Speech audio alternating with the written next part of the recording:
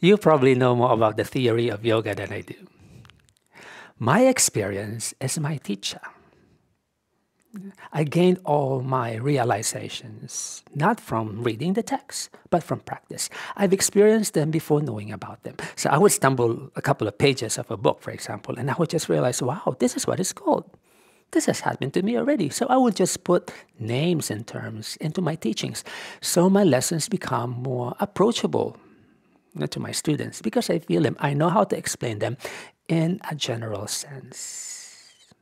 It's good to study the text, especially if you're a yoga teacher, but a lot more time to your practice. Because only through practice you will gain the essence and the wisdom of the words, because they're really far from the reality. When you read, when you experience, they're entirely different. Yeah? And even if you jumble things around, if you flip them up and down, many terms and jargons come your way, you will be able to explain them because you feel them. You know them in your body, in your heart, in your mind, in your soul. And that will stand the test of time. So practice is the best learning. So don't stop. Keep doing it over and over and over again until the techniques become you and you become them.